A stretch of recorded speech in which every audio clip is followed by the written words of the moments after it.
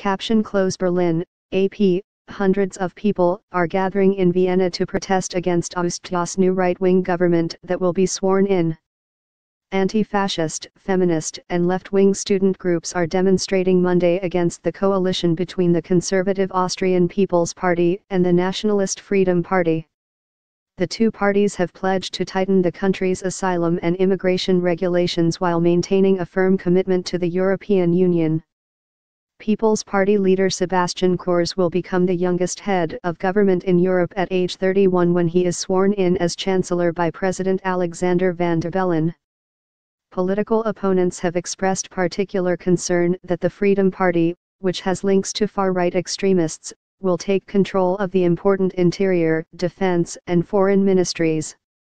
Its leader, Heinz Christian Strache, will become vice-chancellor.